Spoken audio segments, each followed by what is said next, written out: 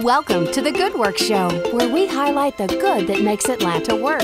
Now, please welcome the hosts of the Good Work Show, Elaine Armstrong and Trinice Lyons. Hi, everybody. Welcome to our first new edition of the Good Work Show. Yeah, where you can see us. well, some of us, some of you can if you're watching us on YouTube. Very exciting. I thought you were going to say something about that.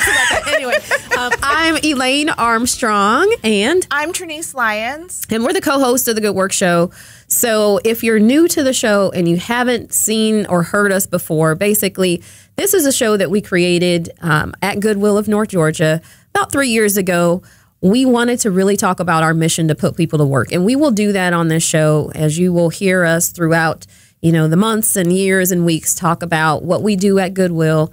And uh, we did that for the first couple of shows and ran out of steam. There was only so much that we could talk about about good. We do a lot, but we don't do an hour's worth of radio every week a lot. No. So, yeah.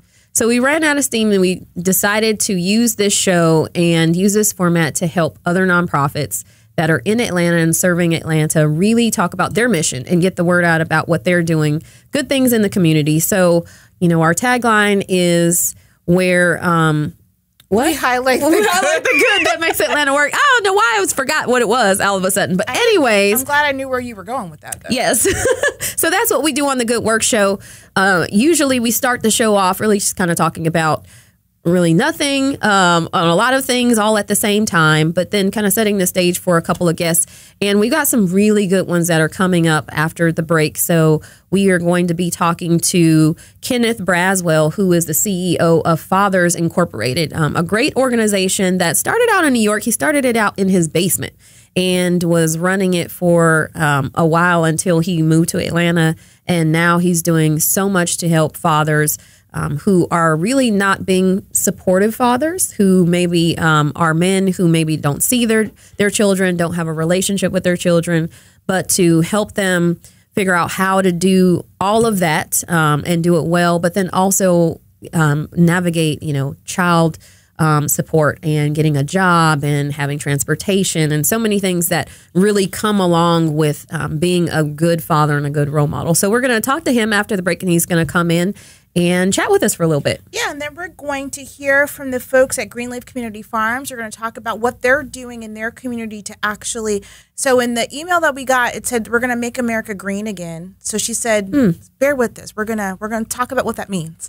So they um, are bringing. You know, we've talked a lot. If folks have come over with us to our new home and um, heard some of the folks we've talked to recently, we've been talking about these community farms a lot and um, the soil people and the, and all of the stuff that folks are doing out there in the community to bring local farming here um, to Atlanta. So they're going to talk about what they're doing in that space, and um, so I'm looking forward to it.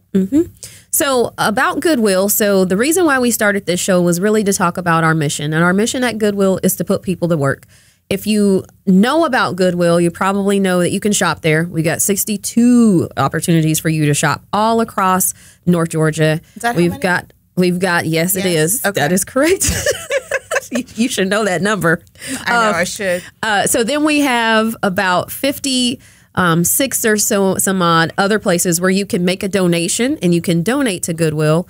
Um, but then we have 13 career centers where a lot of people really don't know. And they're like, wait a minute, what do you mean by putting people to work? So we've got 13 locations across North Georgia where people can come in. You can come in as a shopper. If you're in the store, you can just walk right through another door that says Career Center. You can come in, or if you are listening to the show or um, watching the show and know someone who needs a job or needs a better job or um, just is really to, looking to brush up their skills about work or um, maybe you know word processing or um, any kind of skills, or if they want to go into a new career. We've got so many programs that are available to them and all made possible by the fact that we have 3 million shoppers, 3 million donors, 7 million shoppers every single year who are supporting us. And um, through the sale of those goods, we are helping lots of people go to work every single year. So we're going to talk about Goodwill on the show a lot, but um, but we won't bore you with only Goodwill stuff. We'll bring you stuff from other nonprofits. and whatever pops into our head that day. So bear with us. Um, it, it it'll be a fun ride. If you haven't been here with us before. Mm-hmm. We're excited. We're excited to be here. We, um, you know, have new folks to talk to, so it should be a good time for everybody. Yep. So, yeah, that's all I've got. That's all you have. That's all I have. I went on for like two You really minutes. did. So I was like, I- where's the where's the well, because you never stopped talking, so I just no, figured you had to it. add on. See what? So, so the add on that I was thinking that she was going to do was about how many people we're going to put to work. I left Oh, the door you wide did. open. So I just thought you forgot. So no, I, I don't forget things like that. I've been at Goodwill for 13 years. Everybody, I got this.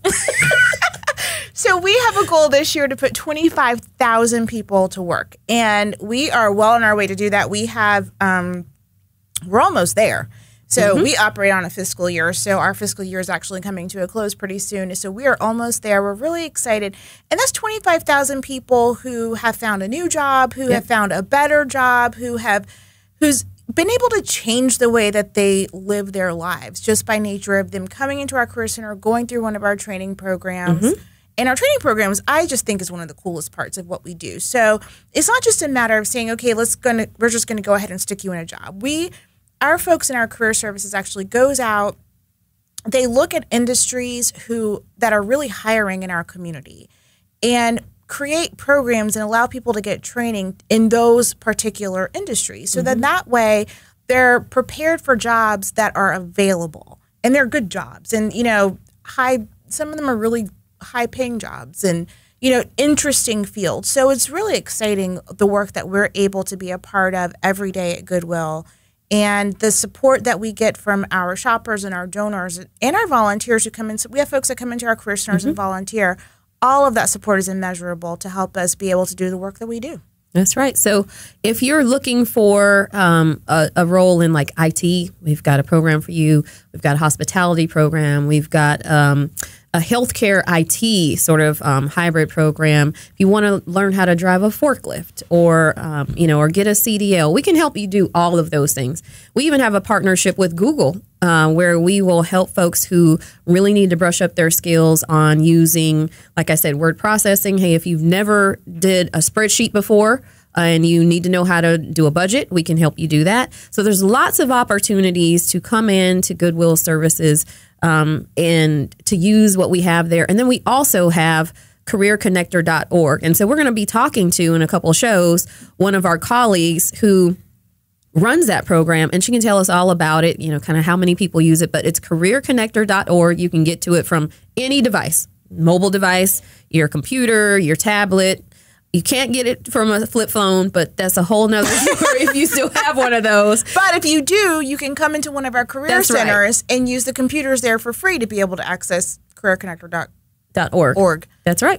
Yep. And so it's an extension of what we do in the career Yes. centers on in an online space. And you can even chat with somebody who will coach you through finding a job. Yeah, and the great thing, so on top of all that kind of stuff, so say you're good, you're good. You're like, I don't need all of this, but maybe I just haven't gone on an interview mm-hmm. in ten years because I've been working and I like my job, but I just want to try something different. We have stuff like that. So just being able to support you with trying to brush up on your interviewing skills. So you know, we can give you as much or as little support as you need in order to get you to where you want to go. That's right. And then also coming up, so if you are like, well, Goodwill is my favorite place, I don't really need a job, I like to donate, but um, you know, I want to go and shop. Well, we have opportunities for you to you to do that. So I said 62 of them, yes. But then we also are doing something super special with a couple of our stores this year. So before the summer is over, we will do a whole overhaul and refresh. And um, and we work on the marketing team at Goodwill, so we know all about this. But we are refreshing the look of some of our in town stores. So you'll see a brand new brand and experience in some of our stores. And then we've got two that are brand new to us. So we've got a store South Hairston Road Yes. in DeKalb County. And then we also have a South Buford store that is very near the biggest mall in Georgia. the Right. Mall of Georgia is very near that. But uh, we have a store that will open there, and those two will open very soon, right? You got yeah, opening the- dates. Yeah, I do. So, yes, I do in my head. Hold on, let me. Okay, so one of them is June thirteenth. Yep. If that is that a Thursday, It's, it's a Thursday. and then June twenty seventh That's the other Thursday. So our store's open on Thursday. So just bear with me. So those are the two dates that um, we have coming. So South Hairston will open on the 13th, and our South Buford location will open on the 27th. And anybody, so if anybody has gone to a Goodwill grand opening, you know it's crazy, but it's the place that you want to be on that Thursday morning. There is going to be great product. There's going to be a lot of fanfare. Um, there's going to be a lot of people. It's kind of Walmart Black Friday kind of vibe going on. So just be prepared. Bring your chair. You may have to sit out and wait a little bit, but it's a great opportunity. And then you can come meet us in person. Yes. Um, I will not be at the South Buford opening. So- However, But I mean, will. South- no, the South Hairston. I'll be at South Buford. So you'll meet one half of the good work show. The better half, that- anyway. Yeah, no. So anyway, um, but I won't be. But come, please come. Please come. You will again. And the good thing about it is these new stores will also get the brand new Yeah. look and feel. So there's some new things that if you have been a Goodwill shopper for years and years and years and years, you have your favorite Goodwill. Keep it. We still want you to go there, but we are going to be rolling out a brand new look. They're going to get a facelift. I mean, just you know, every once in a while, you need a little pick me up, and so these stores are going to get the nice branded look, and we'll have some new features in the, some of those stores Yeah. too. So nice things, especially if you are a thrift shopper who likes to try things on. We think you're really going to enjoy our new dressing room setup in the new stores. Yeah. So come on out. We always say there's going to be a good work show prize pack for the first person Mm-hmm. that comes in and says they heard about it on the good work show. So we haven't given that prize pack away yet. so it's still dusty. there. It's a, we knock the dust off it for every grand opening. so we hope somebody will We claim we'll it. put something else new in it. That's what we should do. We should add add, to it. Yeah. Kind of like the Powerball. We just keep adding until somebody wins. But Yeah. anyway, come by, say hi. Um, we look forward to seeing you. And thanks for joining us on the show. We're ready to get started. That's right. So, coming up after the break, like I said, we're going to talk to Kenneth Braswell, who is from Fathers Incorporated. Really want you to tune in. And if you know a father who should tune in, go grab them, bring them back. We'll be back. You're listening to The Good Work Show. To learn more about the show and how your company can tell their story, like us on Facebook and follow us on Twitter at Good Work Show. Welcome back, everybody, to the Good Work Show. We are sitting here with our first guest of the day. It is Kenneth Braswell. He is the CEO of Fathers Incorporated. Welcome to the show. Thank you for having me. I'm glad to be here. Absolutely. So, um, so you're on one of our first shows for the Good Work Show in our new home. Um, yeah, so we're excited. All right. We're excited All to be here. We're excited you're here. Um, but we want to know about Fathers Incorporated. So, tell us all about the organization and your mission. So, Fathers Incorporated began in 2004 um, in New York with an eye towards providing direct service, particularly for fathers, um, around child support, custody, and visitation.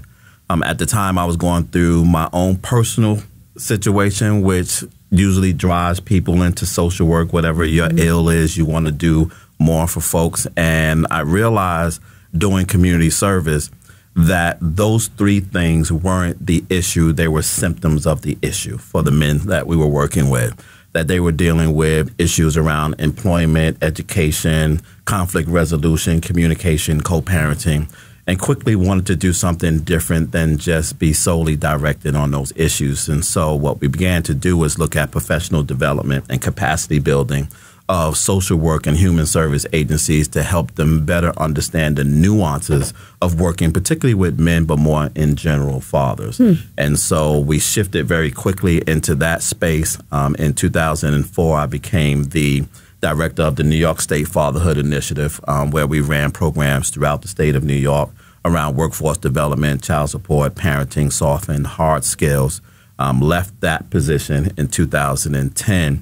Um, applied for the National Responsible Fatherhood Clearinghouse under the U.S. Department of Health and Human Services, won that contract in 2010, and we still have that contract today. And so we just were awarded the um, largest contract ever given to a not for profit to manage responsible fatherhood for the federal government at $19 million um, last October. And so that's our national base work.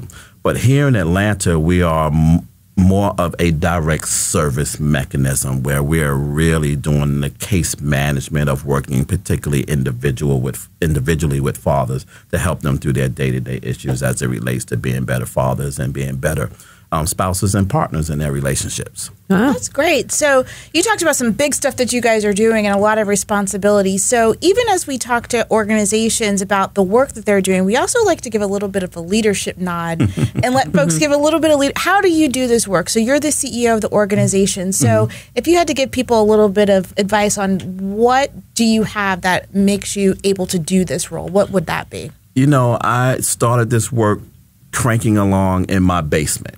right? As most not for profits start in your own home. And so for the first several years of Fathers Incorporated, that's where I operated out of the basement of my house. And one day I realized I had a business, that it wasn't a hobby anymore. It wasn't just a social piece of work. Um, I realized that I had to hire people. I realized that I had to do 990s and taxes. I realized I had to talk to corporations and, and talk to work, workers' compensation people and this whole notion of like running a business. And so having a business before, I really at that point took on this mindset that although our core mission of Fathers Incorporated was to strengthen fathers to um, strengthen families, that we were really in the business of people, right? Our commodity is fathers, like our asset is fathers. The development of our agency to um, build that asset to be a better resource for their children and families for us has become a business. Um, how do we look for return on investment with respect to the amount of resources that we're pouring into dads and the impact that they're having on their children and families? You know, how are we managing resources to create curriculum and to mm-hmm. run programs and to manage $19 million contracts and to look for donors and sponsors for all of the work that we're doing? And so, you know, my staff just recently encouraged me to move from the moniker of executive director, right? That, you know, you are in the C suite. You know, mm-hmm. you are a chief executive officer of a business that is in the business of family, children, and well being and community. And so I had to not only stop, I mean, continue to work like I'm in the business, but to identify myself as such. Hmm. So, uh, tell us about some of the programs. So, if a father comes to you, you say here in Atlanta is really more boots on the ground. You're you're actually working with the father. So, tell me what happens. Does a does a father come to you, or are they court ordered? How does it work? And then what happens when they come to Fathers Incorporated from day one? You know, just kind of walk us through the process. So, you know, the unfortunate reality as it relates to men and fathers is we really don't seek help until it's broken or it don't work. Mm-hmm. Right? And mm-hmm. so, After you tried to fix it yourself, and you just still didn't work. Right. And you went back. And you didn't read the instructions. right. And so what happens is they don't typically just reach out to us until they're in that situation, Right. until they have nowhere else to turn, no one else to talk to, and no more answers to fix their own issues. And so typically when they do come to us, they come to us in crisis. Mm-hmm. You know, child support has got them in, in their wages and they're taking their driver's license and they're garnishing their wages and they're doing all of those kinds of things. Or they're in a situation with respect to the mother of their children and they can't reason with them and they can't talk to them and they can't see their child. And they're coming in, in this with this level of desperation, like I need you to mm-hmm. help me now and today. And as Fathers Incorporated, we always have to kind of we we have to listen to them, let them vent, let them get all of that out, and then push back and say, let's assess because there are things that you need to fix your situation that you're not going to get today. I have to change your behavior. I have to change your habits. I have to change how you think about your situation. I have to connect you with resources that you don't even know you need and understand right now. Um, you're going to have to build trust in a relationship that may or not have any trust in it. You're going to have to walk into your children to reestablish relationship based on the age and how they feel about you being in their lives. All of this damage control that has been created over the past whatever amount of time has to be walked into. Some of the immediate emergency crisis we can help you with. We might be able to get child support off your back, right? We might be able to get your license reinstated. We might be able to get your wages ungarnished. Um, whether or not we're going to get her to like you today or not, That's probably not going. We'll help you, but Right. that's probably not going to happen. And so, um, most of what we get comes that way. But then we also are activated in several spaces in Atlanta through barbershops, schools, and other not-for-profits who also refer men to us. And so they come oftentimes without being in such crisis. And so we can do fatherhood classes, we can do life skill classes, we can do financial literacy classes, we can do the things that strengthen them to become better men in the lives of their children and their fathers. So it's a myriad of ways that they mm-hmm. do come into us and how they come into us, but primarily it's that crisis guy Yeah. that comes into us and and and we have to kind of do next level work with him in terms of dealing with his crisis at the moment and then his long-term goal Are they paired with somebody when they come in the door, or do they come in and go right to classes and, and such? no we have an outreach team and an intake process Okay. and then they're moved to our outreach team and our coordinator over the outreach team and then we kind of determine from that point where, what they need and so we try to address their immediate needs by referring them to the places and entities that they may need that immediate need. But at the same time, we kind of, as a carrot, you know, if you want this, then you should come to our fatherhood class. Got it. Because you're really not going to understand what you really want until you understand who you really are. Mm-hmm. That's great. So, talk to us a little bit about some of the programs you have. I think we have a couple of minutes left before we have to take a quick break, but you're talking about these classes and the programs and that kind of stuff. So, give us a little taste of what. So, after people have got, mm-hmm. maybe gotten past that crisis point, mm-hmm. or maybe they were, you know, that those few men that might be proactive that come in before the crisis point, what are the options for them? What are they walking into? And we can start and then maybe pick back up after the break. You know, I'll start with the classes because the, the classes are where we have our most intimate relationships with them, particularly our fatherhood classes and our life skill classes. So we have a great partnership with Atlanta Cares, who has a program called University for Parents. Hmm. And it's a consortium of not for profits that have come together to provide programming in one building. So you can have parents come into a building and they can get literacy classes and high school equivalency classes and nutrition, fatherhood, co parenting, life skills. And the fatherhood class, in particular, for these guys that come into our building, is a is an opportunity for them to become um, bonded with other men who are dealing with similar situations, um, to have a level of transparency. Um, because a lot of times they're coming in with their story, but they're not telling the story. And so through transparency, we get the story. And so all of a sudden, at the phone call, I get his story. Right. But four weeks down the line, as he's sitting in his class, we start to hear, "Oh, you didn't say that." you know, uh-huh. when You call that that, yeah, that, that changes things. Things, yeah. And so they become more comfortable in that space, and you know, and that has become the most valuable piece of the work that we're doing because the deeper work with these guys are being able to kind of walk into their intimate and safe spaces to begin to find out what's really at the crux of what they're dealing with. And oftentimes that is an anger with the absence of a dad in their own lives. Mm-hmm. Yeah, wow. So, Kenneth, we want to talk a little bit more about some of the programs and then also maybe some things that you have coming up for the organization. So, we're going to need to take a break. Um, but before we do, how do people get in contact with you? So, we've got probably a couple seconds left before we take the break. Can they go on a website? If, if there are, you know, fathers listening or maybe their mothers listening and or watching and saying, hey, I, I know someone, I need to refer them to, they need this they, service. they need me, Yes. right? So, the easiest way to get in touch with us, obviously, is our website at fathersincorporated.com. Okay. Um, if you just simply go to Google and type in either my name or Fathers Incorporated, we come in up all over the place. Um, we have a Facebook fa- page that is fathersincorporated.com. Our Twitter handle is Fathers Incorp, and we're on Instagram, LinkedIn, and all the other social media platforms there are to contact someone. All right. Well, we are going to take a break. We'll be back with more of the Good Work Show. To learn more about the show and how your company can tell their story, like us on Facebook and follow us on Twitter at Good Work Show.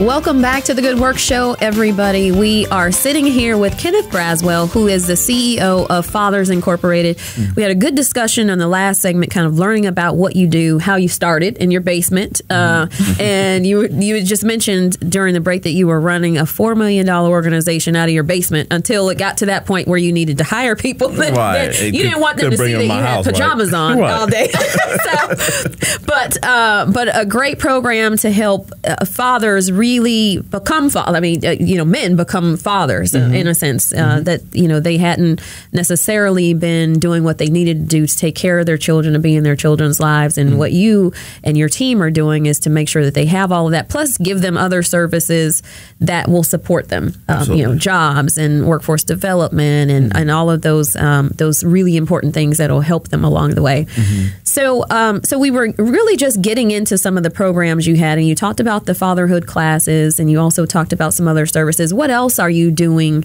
um, as an organization to help really support these mm-hmm. men in, in being in their children's lives? So there's two other um, primary things that we've decided to do here in Atlanta to kind of address fatherhood engagement. One is in the literacy education space, where we started a program called Real Dads Read. Mm. It started out as a small program, and we wanted to just put books in barbershops to allow children and men to read in barbershops. And it very quickly turned into so much more than that. We started with a small grant from the Annie Casey Foundation to put 25 mm-hmm. in barbershops in the NPVU in Atlanta and realized that resources in that particular area were scarce, mm-hmm. even barbershops. And they gave us the ability to kind of expand throughout metro Atlanta as of yesterday, we just planted our 81st um, literacy center in Douglasville. And so we're in seven counties, we're in 73 barbershops. And we now have what we call Little Free Libraries, because mm-hmm. I'm now on the board, the national board of Little Free Library. And so we have 15 Little Free Libraries in front of low income schools throughout the Atlanta public school system. And all of those um, libraries are there specifically to give us connection and relationship with the entity. And so, as Fathers Incorporated in our primary mission to work with fathers, we have to be where fathers are. Right. Mm-hmm. There are two places we know fathers are in the barbershop, at least two times, at least once every two weeks, and at school at some point. Mm-hmm. Even if mm-hmm. they're not there, they're connected. And our MOU and relationship with the barbershops and with the schools is that if we bring in a literacy program to increase fatherhood engagement in the space of literacy, you have to give us access to your dads. Right. And so whenever we're running programs, whenever we're running any activities, those entities has have agreed with us to move that information to their constituency. So we have now a natural referral resource mechanism in Atlanta to which I don't have to go to every corner in the city right. to find dads. I know exactly where they are. And so the program itself is two generational in um, perspective with respect to, on the dad side, is increased fatherhood engagement and activity with your child. On the child side, it is we know that when fathers are actively engaged in the lives of their children, their children do so much better academically. Mm-hmm. They have mm-hmm. better grades, they score more A's, they have higher self esteem, they have more confidence in school, less deviant behaviors. All kinds of great things happen when dads are involved.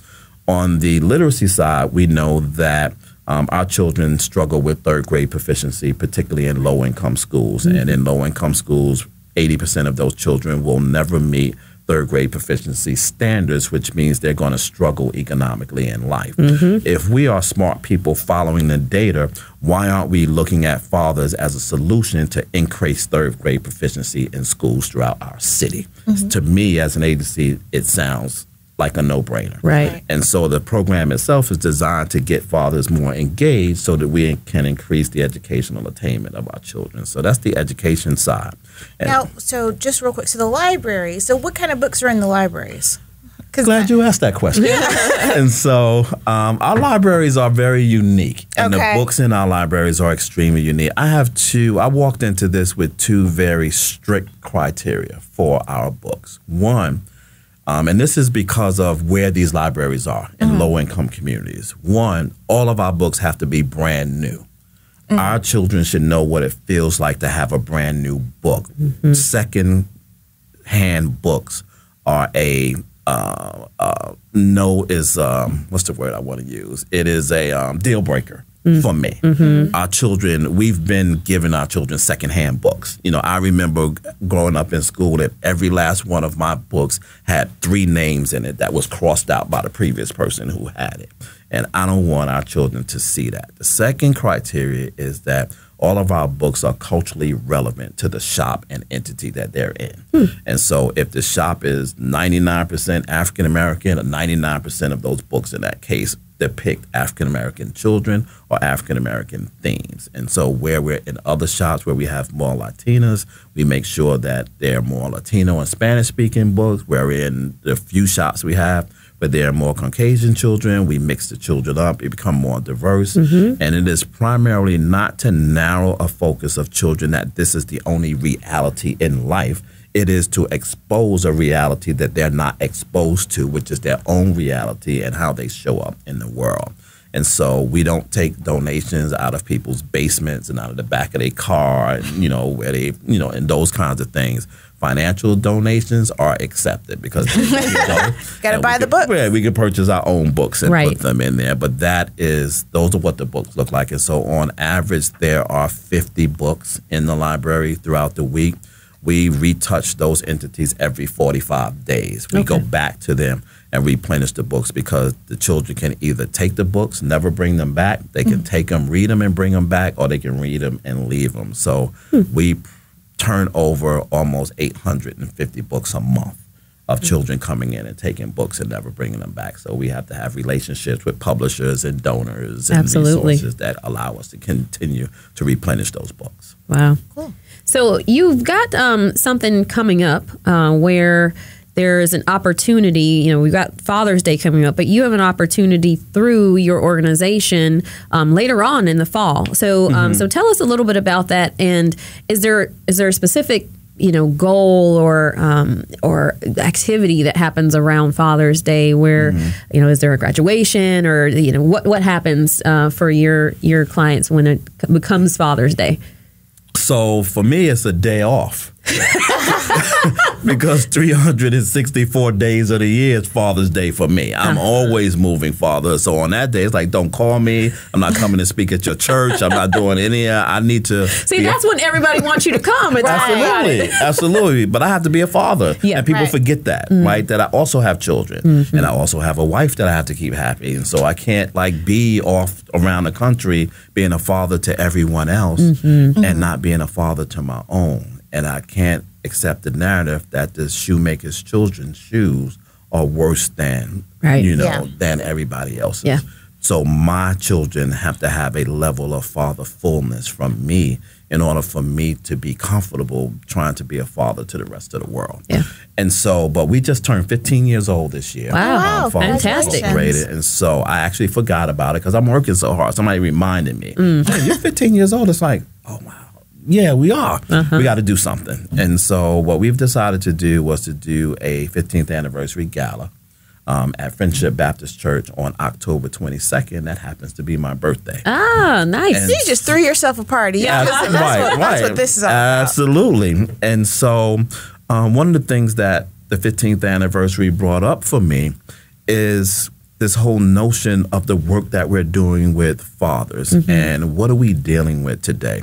So, the theme of our dinner is under construction, reimagining the narrative of the modern dad because our fathers today aren't the same as they were 40 years today or mm-hmm. 40 years ago.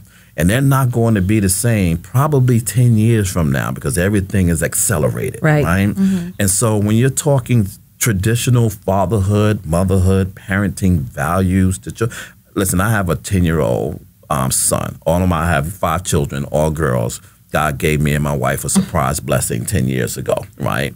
And it was a boy. And so, and I am learning with this 10 year old, right? Because he is not even a millennial child. He's this next generation. He's this next level kid, hybrid of, of millennials, that I cannot parent him the same way that I parented my girls. That's right. That his notion of my response to him is why. Mm-hmm. when my I said why to my, you know what we got? Uh-huh. Why? Yeah. Like he needs explanation because he's logical in his thinking, mm-hmm. and he does, and he wants to make sense out of what you're saying. Mm-hmm. So if I say you can't do this, his thing is why can't I do that? And I'm like. Well, not because I don't want to, you know. Yes. I, you know, Because I said so. so is, is it going to work for him? Right. Yeah. So so we're trying to create this narrative um, in October that forces us as a society to really look at the narrative of dads and how we show up in the world and make sure that we can adhere to all the responsibilities of being a father, but be very clear on the societal narrative and expectations that we have not only for fathers but for men in general, right? And so we can't push folks so far to the left you know, that we want them to be the men in our houses, but not understand that there's a level of support that has to come with that and a moving of the traditional values that we have to embrace. And so, yes, my wife is all things to all people. She is my superwoman. She's the mm-hmm. super mom. But at the same time, I am all things to men. I am the super dad. I'm Superman in my in my house. But have given both of those two things, I still have to pour her chair out. Mm-hmm. I still have to take out the garbage. I still have to close the door behind her. I still have to affirm her beauty. I still have to affirm those things in my girls. And so there's this real challenging struggle with fatherhood and the definition and narrative around masculinity that we have to somewhat try to embrace and identify so that our boys who are becoming dads 10 years from now, they can embrace it, society can embrace it, and we can't have over expectations of them. All right, October 22nd, so they can find that information on your website, Yes. fathersincorporated.com. Uh, so, Kenneth, it's been a pleasure. Thank you so much for stopping by the Good Works Show and uh, and being one of our first guests. I know. Woo! That's going on my resume too. Absolutely. Appreciate it. Thank you so much. We'll be back with some more of the Good Works Show. To learn more about the show and how your company can tell their story, like us on Facebook and follow us on Twitter at Good Works Show. Welcome back to the show. We are sitting here with our next guest, and we have Krista. Tell me your last name, Krista. Leonard. Leonard, that's right. Uh, and you are with Greenleaf Community Farms. I am. Yes, so um, so we love farms on the Good Works Show. We've, We've talked to talked to farmers. Who doesn't love farms? Um, but we don't want to work on one. But let's just. But, but- you would want to work on mine. I really? promise. Okay, Yeah, so we're, we're excited to dig in. So tell us all about Greenleaf Community Farms and your mission. Okay, so Greenleaf Community Farms was built um, through Greenleaf Property Management. So that is our corporate portion of our business, and the property team said, "Why, um, why are we wasting money on building lawns or you know taking care of lawns and landscaping?" So they brought uh, the idea to bring in the development of agrihoods, and this is kind of a new niche, you know, Agrihood? agrihood. So Okay, okay. it's building community around agriculture because food is the thing that we all have in common. Food is the thing that we all love, and it is much more of a conversation starter than a pool, and less expensive. I kind of wish my HOA would go in that direction. You know, they actually they have a lot of agrihoods that are developed in that way. Um, the thing about us is that Greenleaf then created Greenleaf Foundation, and we are part of the foundation now. So we develop the agrihoods, and not only do we farm it, but we create programming and education for youth as well as farmers in the southeast. So um, we're in the beginning stages, and currently we have three of those farms. Um, and so it's been an interesting uh, progression. So, talk to us a little bit about how the farms kind of bring people. Like, what is the impact that happens in the communities when you have these farms? Um, well, okay. So the way that it works is it's essentially I don't community supported agriculture. I don't know if you've heard of that. Um, it's essentially where the community makes it possible to have a farm. So our whole philosophy at Greenleaf, not only at the farms but at the property management, is that we are very focused on the social well-being of our residents. Um, so we are not really amenities like gym and pool focused. We're more like how do we make the lives of our residents better and easier because we're dealing with not only you know millennial population, uh, hospitality workers, students, uh, immigrant families, families of all kinds, and we have so many different types of properties.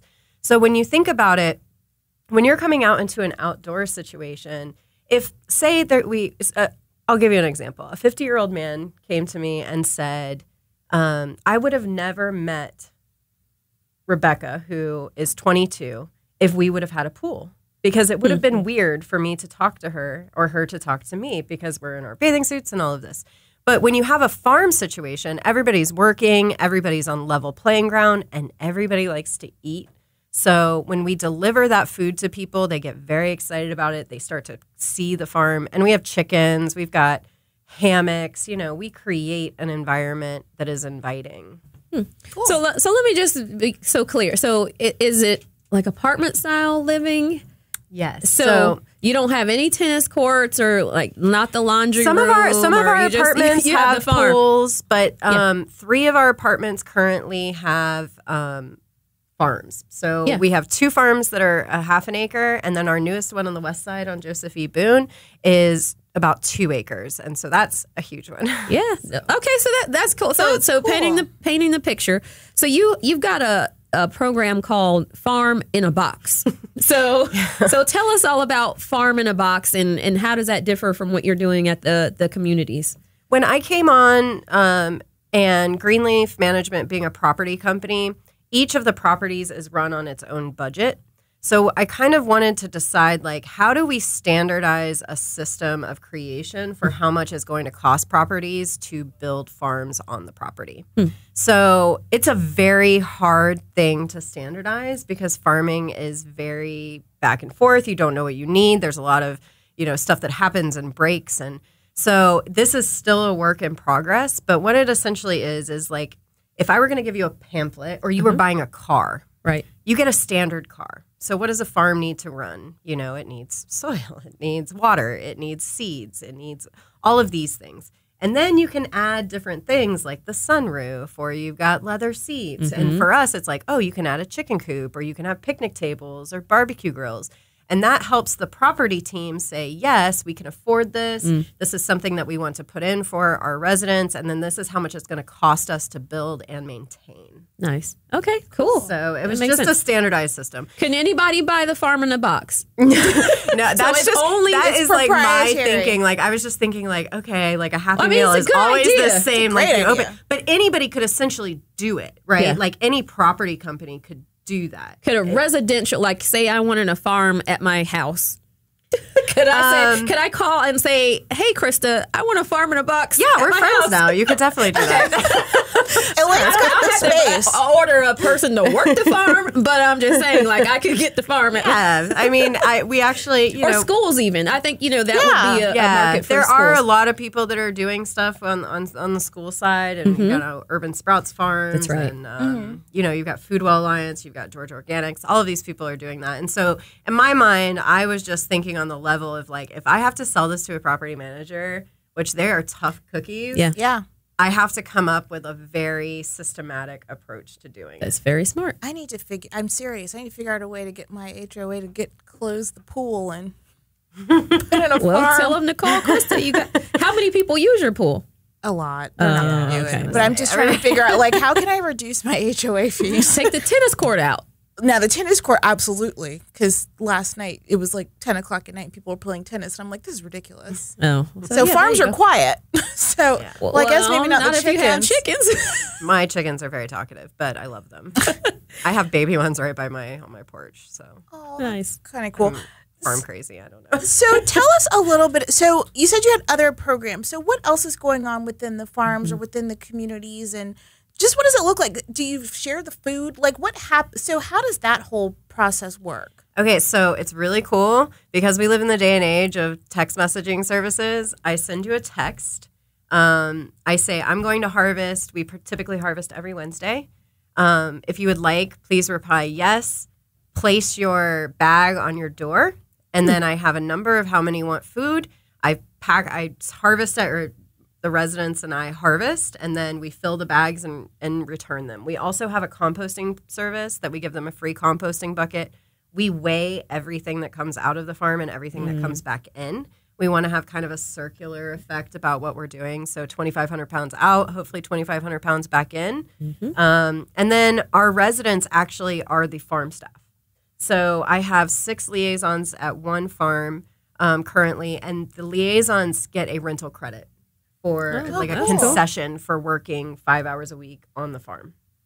So um, you're taking people who necessarily don't have any experience or they have little bits of experience, um, and you're teaching them about agriculture and that hyper local um, agrihood is kind of that trickle down effect because everybody ends up kind of sharing food. Right. And so there's no stinginess with the food. Like we are very adamant that we harvest it just so it gets maintained very well. But um, if somebody were to call me and said, "Hey, I need a bunch of kale," I'm not going to be like, "No, you can't have kale because it's not Wednesday." You know. So it's just it's very um, this is theirs and they built it.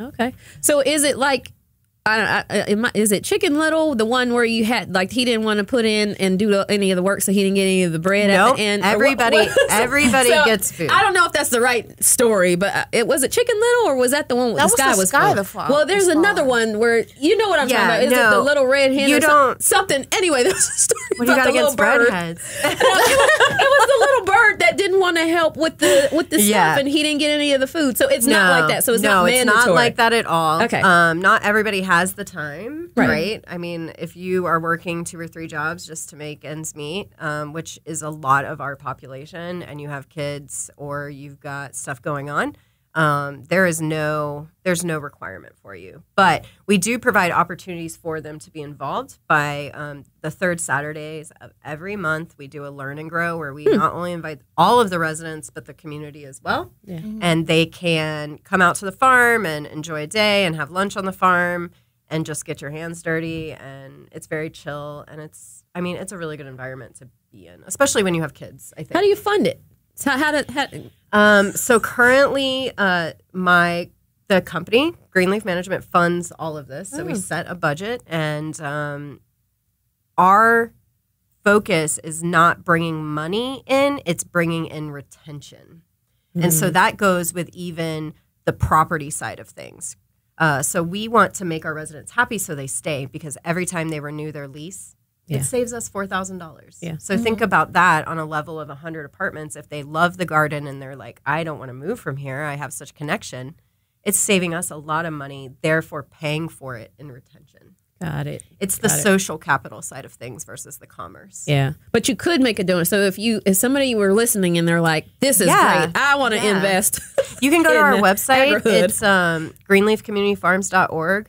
Um, all of the donations and things that we get actually go back into the community with programming and, um, you know, providing education for. We work with Camp Luke to get their kids out. Um, so we are community driven in that sense, and it and it does go back into people. So it's not funding our property company; it's Right. funding an initiative that's very focused on the social happiness and well-being. got it. Cool. Cool. So what's in the, like? What are you guys growing? Right now, we are in that transfer from spring crops to summer. So Mm-hmm. it's cucumbers, squash, zucchini, or watermelon, which makes me really happy. Mm. um, so yeah, we I mean we've grown over 700 pounds of food in Wow. three Wow. months. Yeah, so it's pretty crazy. That's cool. Yeah. So can pe- are people like clamoring to move in now? um, people see it and they're like, "Oh my gosh, this is why we moved in. This is so Uh-huh. amazing." And they're so, you know, now that it's there and we've renovated some of the apartments on the other side and they're finally open, it's pretty it's pretty interesting that we get a lot of people referring just because of the garden. Wow. So, Well, Krista, thanks for stopping by the Thank show you. today. It's been a great show. Um, we're so glad you tuned in with us today. Um, so, Greenleaf, we wish you all the best. And I know, like, for this, yeah, like, follow us lot on um, follow Yeah. us on social media. Um, that's where we do a lot of our just promotions of stuff that we have going on and just um, on our website as well. All right. And we thank uh, Kenneth for stopping by a little earlier for Fathers Incorporated. That is our show today. Um, we're so glad you joined us. Absolutely for our first show. First show. So, thank you so much. And we'll be back next week. Bye. Bye.